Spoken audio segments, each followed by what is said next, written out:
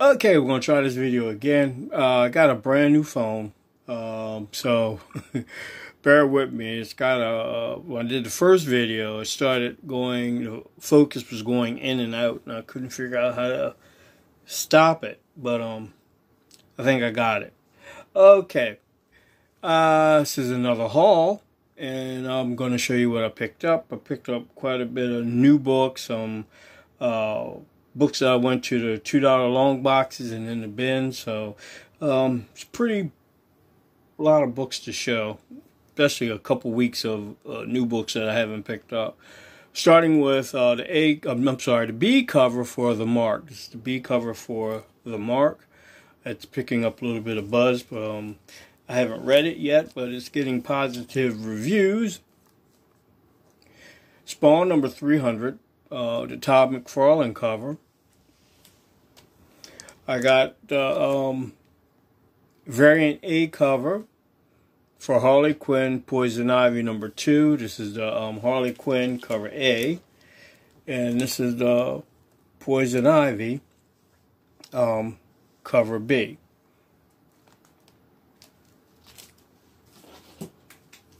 Picked up uh, Flash Forward number two.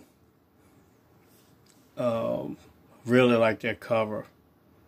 I hate what they did with Wally, but I, I really like that cover.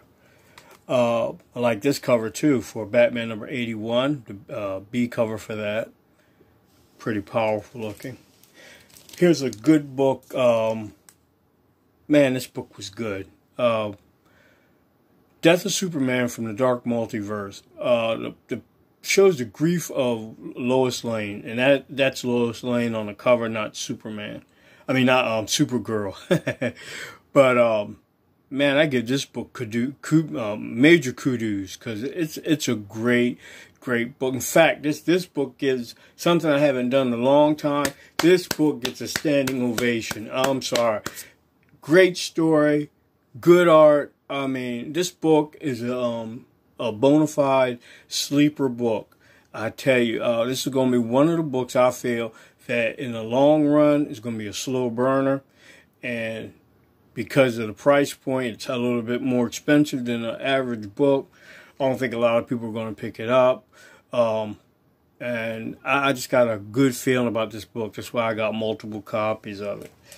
Batwoman Beyond, another book that's, that's super hot right now. Um, issue number 37. Um, what more can you say? Everybody's thinking they're, they're specking on Batman Beyond number 25, which has the first appearance of Dick Grayson's daughter. Um, they're thinking that she may be the Batwoman Beyond.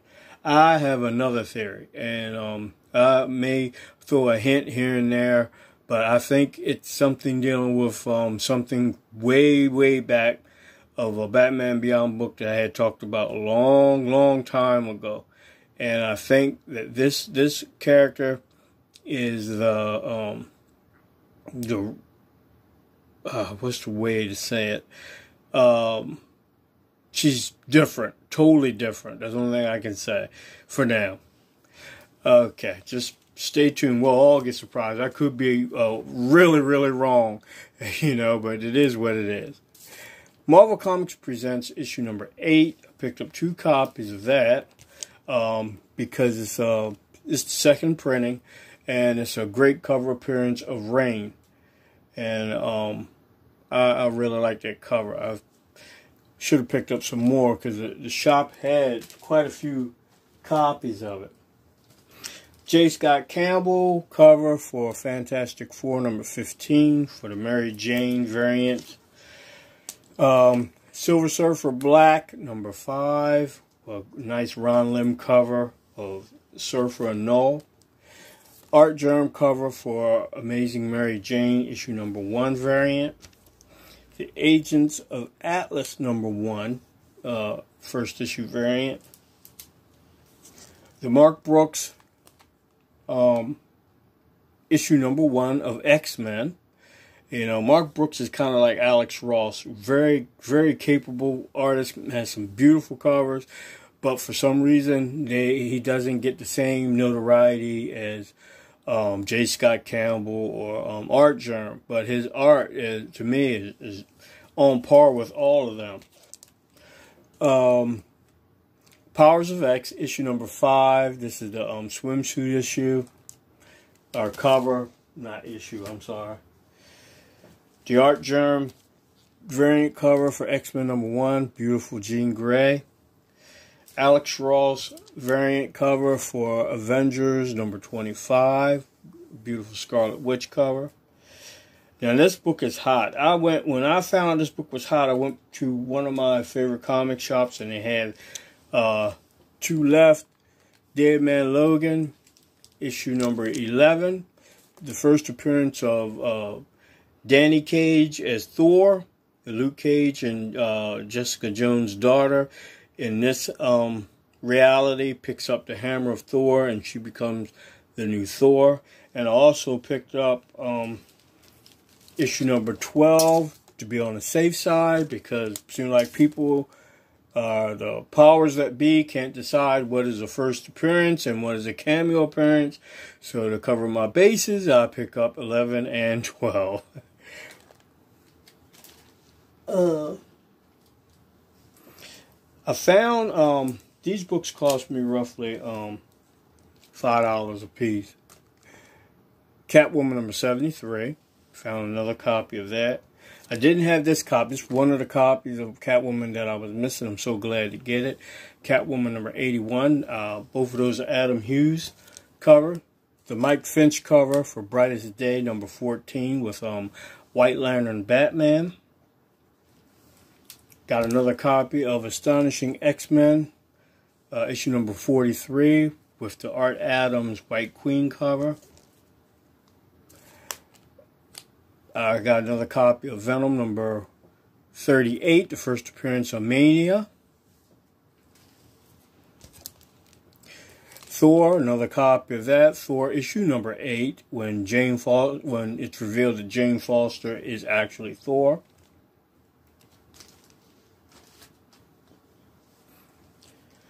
Early Moon Knight from Marvel 2 in 1, issue number 52.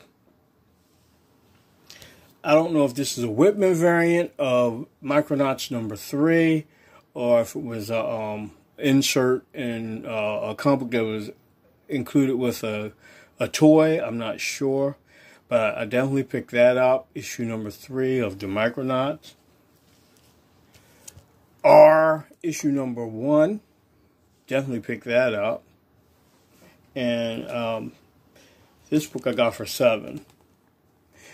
Defenders number 15. And the reason I got that, because like I said, I, I really like those older books when they had team ups and uh, uh, uh, heroes fighting villains that they never, what it normally wouldn't fight.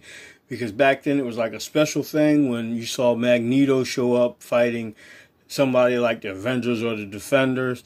But now in this age, it's so commonplace to see any hero with any villain that um, doesn't have any any magic to it. Magic back then, I mean, of Magneto and his Brotherhood of Evil Mutants versus the Defenders, man. You look at that book back in the day, you'd be like, oh man, you know, it's something I got to get. And uh, when I saw it, my eyes lit up. I had to have this book. Now, the rest of these books are from $2 long boxes.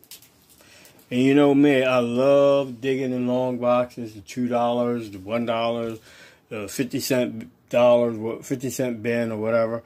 Uh, I get a kick out of it. Issue number two of Superman Adventures, I picked that up. Greg Land's cover for um, Legion of Monsters Werewolf by Night, issue number one.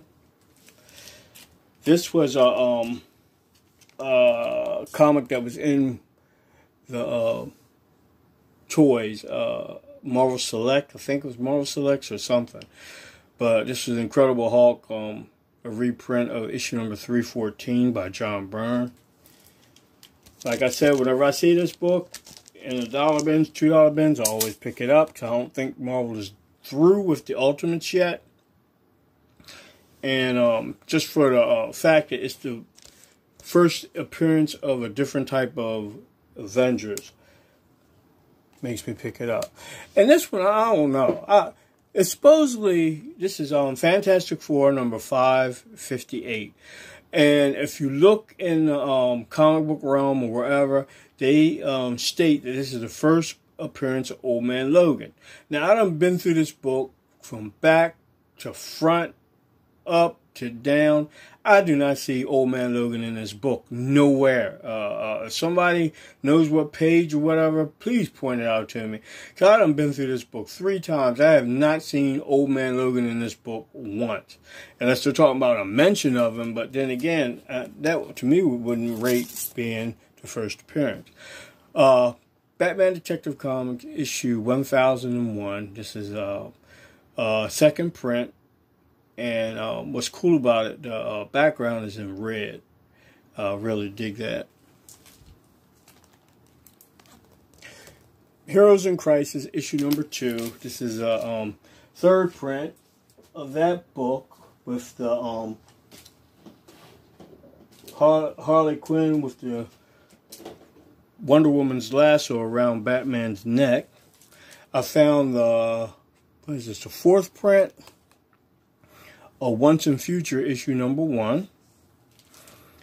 Tomb Raider number two. This is the um, Thunder Records version. Now this, I already have two copies of this, but I found one, two, three,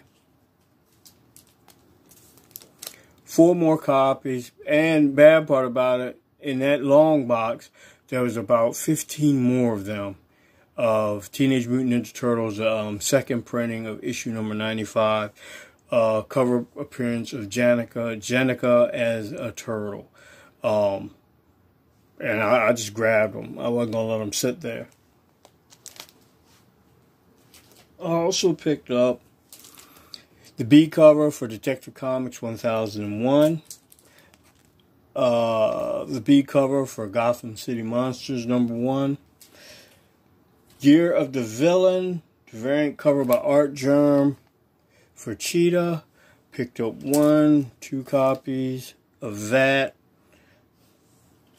Check this out. I said this long time ago when these first came out that they would be in the dollar bins. Sure enough, Detective Comics number 1000 that is the um, Steve Rude cover. Detective Comics 1000, the Midnight Edition uh, cover. I picked that up.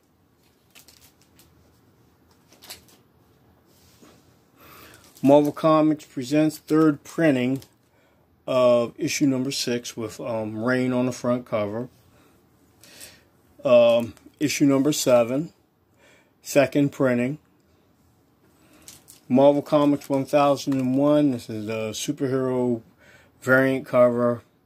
Um, that's um, both front back covers. I should have picked up two of them that way I could have showed them uh, to you together. The Incredible Immortal Hulk number 19.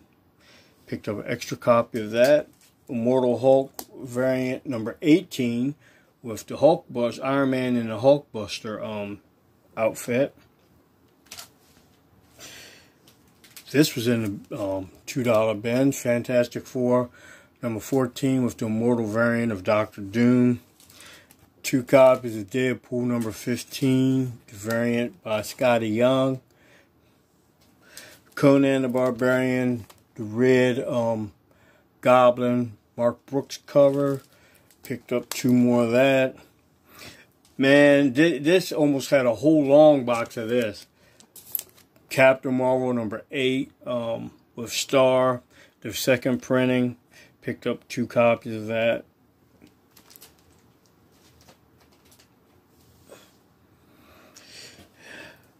Black Cat, issue number 2, Mark Brooks cover. Variant. Could believe I got that for $2. So I picked up two of them. Avengers variant for issue number 9 with the uh, Horsemen of the Apocalypse. Uncanny X-Men. Issue number 3. Nice Storm variant. Another variant for uh, Astonishing X-Men issue number 2. Star Wars Age of the Republic. Padme Amidala issue number one variant. And the last, boy, this one, I, I was real happy. I had to look at it twice, and I had to try to find, uh, just to make sure that that um, signature wasn't on another book, uh, that the book wasn't printed that way. Uh, Walt Simonson's The Mighty Thor variant for issue number one, and it's signed by um, Walt Simonson. And I'm not really big into getting signatures. I, I, like getting signatures on books. I don't go out of my way to get signatures on, on, on comic books. And I'm not paying um, uh, exorbitant prices for anybody's signature on a comic book. But and another thing about signatures on a comic book, if the uh, artist got an ugly sig- signature, I don't want it anyway. I want something that's going to complement, you know, complement the art piece. You know, somebody with nasty um, um, hand, they might can draw their tail off. But as far as writing, it looked like they, they went to uh, they're still in grade school trying to figure out how to how to spell. You know, I don't want that marring up my book. You know, it's only certain artists who really have a knack for or really have a good signature. Um, you know, Jim Lee, I like his signature, even though it's evolved now. It's just like a big J with a lot of wig, wig, wig, wig, wiggles behind it. Um, John Byrne, Steranko, Simonson. Um, they have beautiful, um, to me, they have beautiful and unique um, signatures, you know, and um, that I don't mind. But when you get some of them other ones, I, am not going to name anybody, but I mean, and then they'll write it um, from some of the books I've seen on YouTube, and to me, they mar them books up. Um, uh, you know, maybe it, to each his own, you know, uh, you know, to each his own. But I, I, really like what Walt Simonson did with this one, you know, and to find it in the um, two dollar bin. I was like, wow, you know, th- whoever had this, either I think they sold it by mistake or maybe they just was getting out of the game. But it's a beautiful piece, and uh, uh, signature complements the art, you know very very nicely. And that's the last book i got. I know i'll probably hear about you know people saying i'm hating on signatures. No i'm not. I'm not doing that at all. You know it's just what i like and i just don't like ugly signatures. You know it doesn't it doesn't make the book look good. Stan lee has a, a beautiful signature when he, his earlier. Even his later stan lee signature wasn't that bad. You know for a man of his age wasn't that bad. You know and uh, I think I done talked enough. I'm tired. And that's all I got to show anyway. So, um, I hope you all enjoyed the video. I hope I didn't go on a tangent too much. You know, I have a tendency for going on a tangent. but, um, uh, that'll be it until I come up with another video. I think I might just start pulling books out and just showing them randomly. Take a stack from here and just whatever it is, show it. You know, do like a reflection of what I have. I mean, I got quite a bit. All right, guys, that's it. Bat Avenger. Y'all guys be well. Take care. I'll see you on the next trip. Bye.